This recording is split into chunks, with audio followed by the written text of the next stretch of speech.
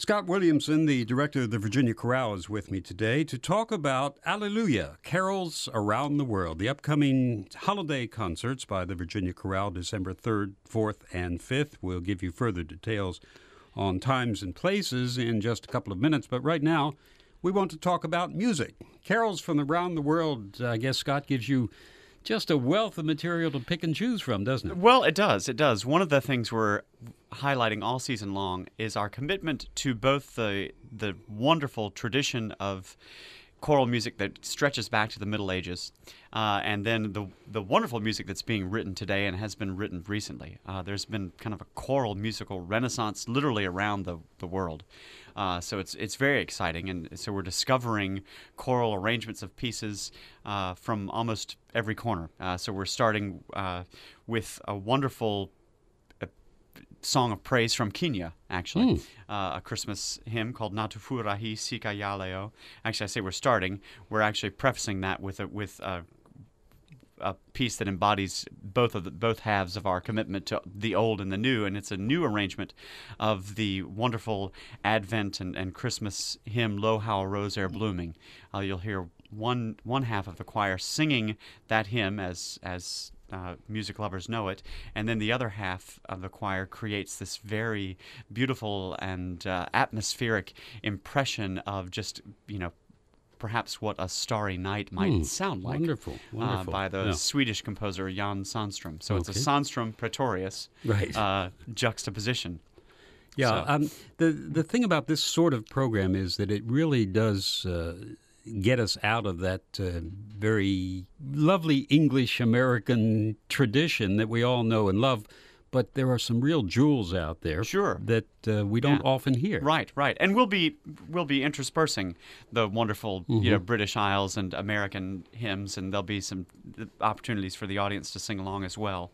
Um, but yeah, we've got we've we're also discovering and, and the singers are, are loving the music that's being written uh, in the Nordic and Scandinavian countries. Mm-hmm. So we have a, uh, a, a, set of, of Marian antiphons, hymns devoted to the Virgin Mary.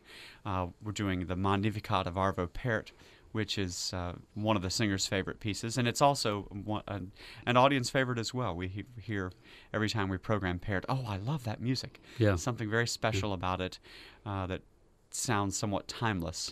Yeah, it's it's got an archaic sound to it, and yet it's yeah. it's right up to date. Yeah, it, it exactly bridges both uh, yeah. uh, traditions. So we're doing two two Arvo Pärt settings, very very different. This very austere Magnificat, and then this very ebullient. Uh, carol setting of the Russian Orthodox Bogoroditse Djevo, an Ave Maria, basically, that was written for uh, King's College for their uh, service of lessons and carols. We're doing the original version of Franz Biebl's Ave Maria, oh, yes. uh, the great uh, German composer that's that's been neglected, and he has this all male seven part double male chorus. Mm. Uh, version of Ave Maria. A lot of church choirs and community choirs do the mixed choral version that, that involves a, a, a sopranos and altos, obviously. Uh, but it's wonderful to hear our, our men singing mm. this piece. I think that will be a real favorite. We're talking about Alleluia, carols around the world, the offering for this holiday season by the Virginia Chorale, December 3rd at First Presbyterian Church, 8 p.m. in Virginia Beach, and December 4th Christ and St. Luke's Church in Norfolk, and then the Sunday matinee, December 5th, at the Williamsburg Presbyterian Church. Three fine venues ac- acoustically, right? Yes, we are excited about uh, this weekend, and, and we know that uh, we'll be in Williamsburg the day of the grand illumination. So we're oh, ho- hopeful that folks yeah. will come early, park their cars, have a nice, relaxing lunch, come hear some wonderful music uh, in, including a new carol written for us by John Dixon. Oh, great, a wonderful great. setting of an old French tune uh, th- that he's uh, translated into English. Twas in a lowly stable, mm. and he's written it with our voices in mind. So there's some wonderful harmonies in there. Uh-huh. Wonderful, so yeah. John, excited about John this. is very much uh, interested in in especially the liturgical music for the holidays. Yeah, He's done yeah. several settings of, yeah, of it's those a, sorts it's a, It's things. a great song, and then we're we're ending with uh, a a couple of new arrangements. Uh, wonderful, kind of somewhat jazzy arrangement of Silent Night that's become both a singer and an audience favorite. It was written for the Swedish uh, small vocal ensemble, the Real Group, mm-hmm. uh, by Anders Jalkéus.